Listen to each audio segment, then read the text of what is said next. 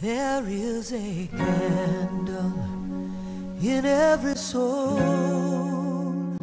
some brightly burning, some dark and cold.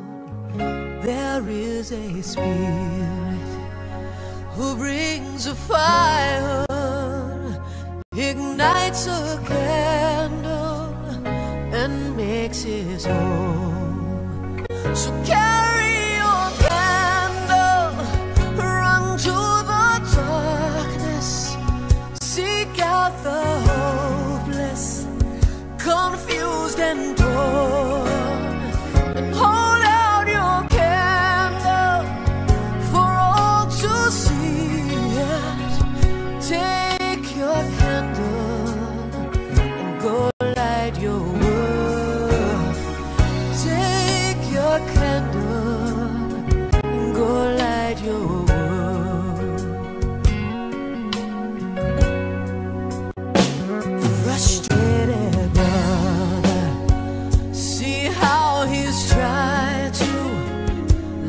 his own candle.